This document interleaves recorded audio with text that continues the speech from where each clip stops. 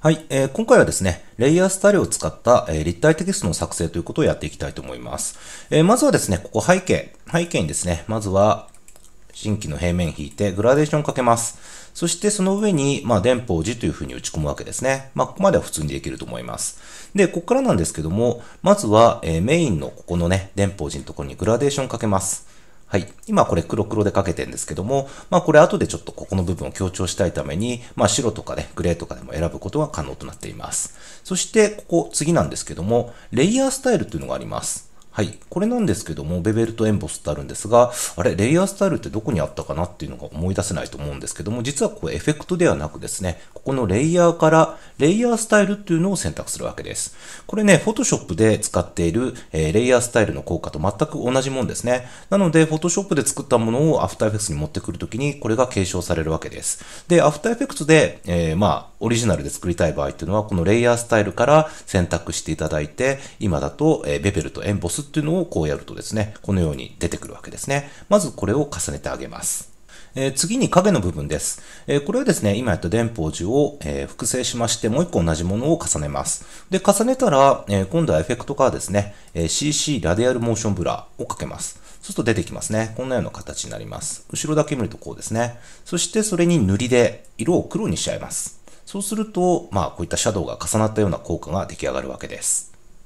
次にですね、えー、同じように今度は文字の後ろをですね、ちょっとアウトラインを大きくしたいと思います。えー、同じようにですね、複製しましたら、今度はですね、まず打ち込みましたら、ここのところ、はい、ここからですね、アウトラインを、まあ、40ぐらいにしましょう。こんなような形で出来上がりました。そして、えー、これで OK なんですけども、ここにもグラデーションをかけてあげます。はい、こんなような形ですね。そして重ねていくと、こんなような形になると思うんですけども、えー、ここもですね、先ほどやった、はい、ベベルにですね、はい、ドロップシャドウかかってますね。はい、こういった形で2つ適用してあげますね。これも先ほどやったレイヤー効果ですね。ここの部分から選んでいただくといいと思います。はい、パラメータはこんな風になってますね。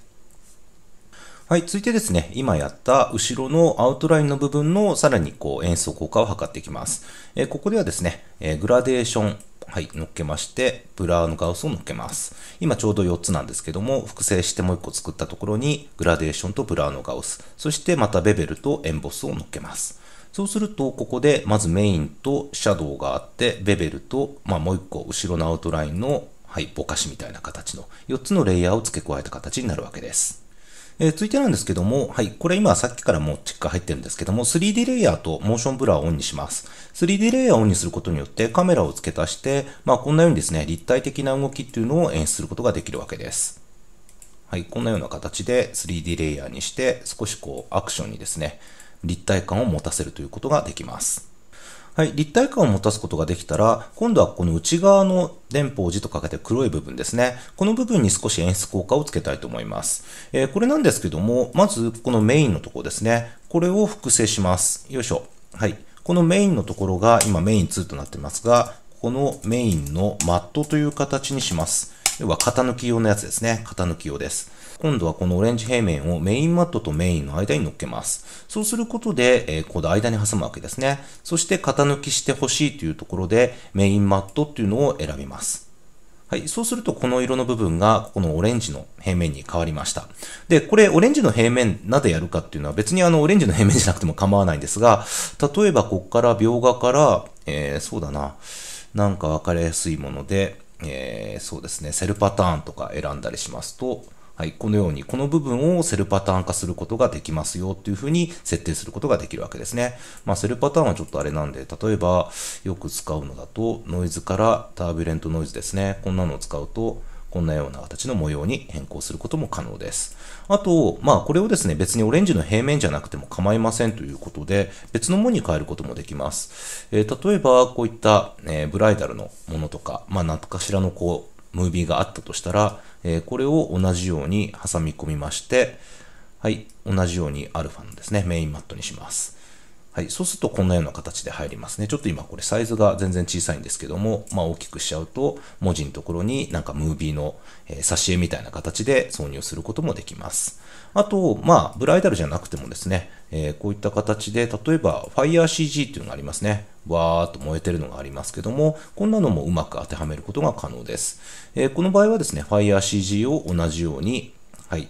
メインマットとメインの間に持ってきまして、こんなような形でアルファマットにします。そうすると燃え上がりますね。これちょっとまだ燃えが足りないんで、えー、ここからですね、スタイライズからグローあたりで少し、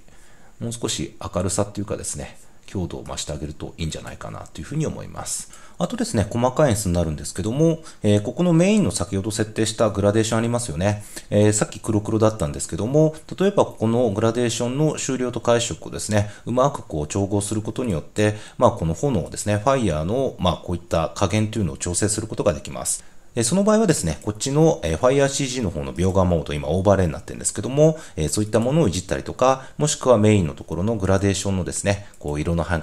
置とか交換っていうのを変えてあげると、さらにですね、いろんなことが幅が広がるんじゃないかなと思います。で、あとはこの影なんですけども、この部分ですね、まあ立体になってますが、こちらのレイヤー 3D レイヤー見ていただくと、これ若干位置がずれてるんですね。前後してるわけなんですね。なので、少しこう立体感を強調したい場合っていうのは、3D レイヤー上で、まあ前、後ろという形で、まあ強弱をつけてあげると結構アクセントがあっていいんじゃないかなというふうに思います。